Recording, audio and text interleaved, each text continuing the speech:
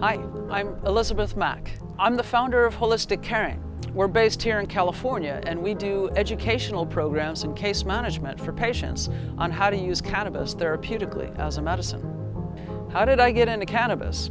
Well, I injured myself. Uh, at the end of 2014, I had a bike accident and uh, I went out on bicycle. Uh, I went out on leave to have surgery, and uh, while I was out, I went to my chiropractor's office and had a medical massage. And the therapist was using CBD and oil on my shoulder, and I said, "Hey, what is this? It smells funny."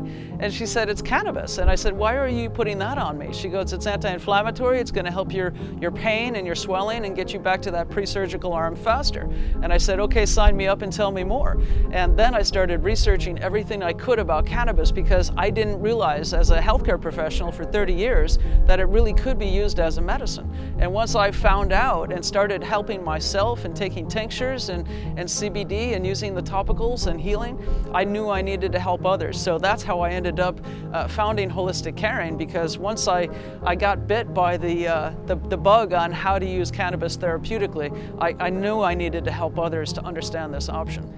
What are some challenges that I faced? Well, like most people, we all have things that are ups and downs in our life that we have to overcome uh, and to learn from and to grow uh, and become resilient. And for me, you know, I lost my husband when I was 47 years old. He, he died tragically. Um, and that really rocked my world and it gave me a, a sense of questioning what I was really doing as uh, running sales for an insurance company here in San Diego for the county and uh, just making money doing benefit plans and, and not really solving the problem of the art of medicine anymore. Uh, and when I found out uh, what, what cannabis could do uh, therapeutically as an option for people, uh, it, it just it was something that made me recognize I wasn't in right work, doing the right thing at the right time with the right people. And, and understanding this and being who I am, a nurse for 30 years, uh, Bachelor of Science in Nursing, Bachelor of Arts in Psychology, MBA in Healthcare Administration, I want to change the paradigm of healthcare. And so, you know, what I, I faced the challenge of, you know, who am I in the, in the wake of losing Warren, um, you know, because I thought I'd be married forever. I thought I was going to work for an insurance company forever. But things change, and we have to change and adapt with them. And I just found that, you know, that was probably the hardest challenge I had to overcome. But look at what I've become. Uh, and that is the growth, uh, the post trauma growth. Uh, and, you know, I want to help others to be able to pursue that. So what am I doing now? Well, as the founder of Holistic Caring, I basically over, oversee the, the whole ship. And what we're doing is uh, progressive education. So, you know, we've got this entire platform where uh, you could start with a CBD wellness coach and then become a, a cannabis industry professional. And then, uh, you know, if you're a healthcare professional, just jump right into our healthcare training where we go through uh, everything you need to know about the history, the science, the research, the, the products, uh, the pharmacology, how to use them, the protocols, dosing, treatment plans, tracking, adjusting, clinical trials, all of the good things that, that are coming, um, and how to interlace, uh, interlace with this industry and us paving the way into a new vanguard of medicine. So that's what I'm doing on the professional education side. And then, you know, on the nursing side, we have uh, nurses that see patients one-on-one -on -one, uh, and uh, take them through uh, an assessment and, and education and, and help them understand how to practicalize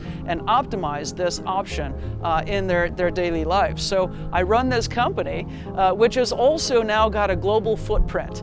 and I'm excited to, to really really uh, bring this into light. There's a, company called Canum that we're uh, uh, merging with, and we will now be doing global education uh, concurrently with them to expand uh, medicinal formulations that we will help to create and to distribute and to train clinicians and patients worldwide, in starting in Australia, the UK, Germany, Jamaica, Canada, Mexico, and here in America. So that's what I'm doing. It's very exciting, and I couldn't be more pleased. What is my life goal? Well, in short, to revolutionize healthcare. And, and you know, when I sign a book, I say, please help me change the paradigm of healthcare. And I used to say in America, and now I'm just saying globally. Uh, so that's probably my life goal is to really uh, bring this into conventional care and, and to get plant medicine uh, and cannabis therapeutics to be side by side.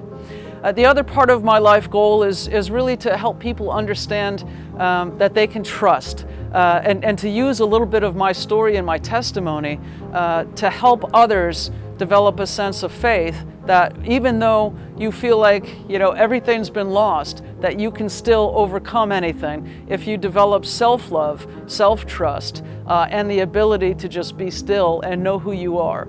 So that is what I've been doing. It's a lot of soul work a lot of love a lot of discipline and meditation and exercise, but I'll tell you at 55, I'm in the best shape of my life. And I went from a dozen pharmaceuticals a day to days without anything.